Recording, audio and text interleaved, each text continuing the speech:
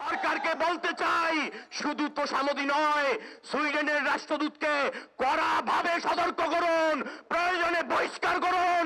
সুইডেনের সাথে সম্পর্ক ছেদ করুন। সুইডেনের সাথে আমাদের কোনো সম্পর্ক থাকতে পারে না। সুইডেন রাষ্ট্রীয়ভাবে কোরআনের বিরুদ্ধে অবস্থান নিয়েছে। আমরা চাই আমাদের রাষ্ট্র সুইডেনের বিরুদ্ধে অবস্থান গ্রহণ করুক।